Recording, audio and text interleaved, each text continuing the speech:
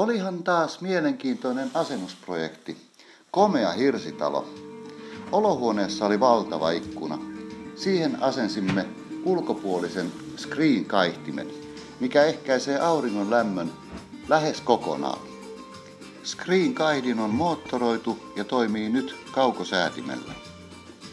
Muut ikkunat suojasimme väliin asennettavilla vaaleilla sälekaihtimilla, joiden ruskeat pintaosat sopivat hyvin ikkunapokan sävyyn. Nyt voi auringon valoa ja lämpöä säädellä niin kuin haluaa.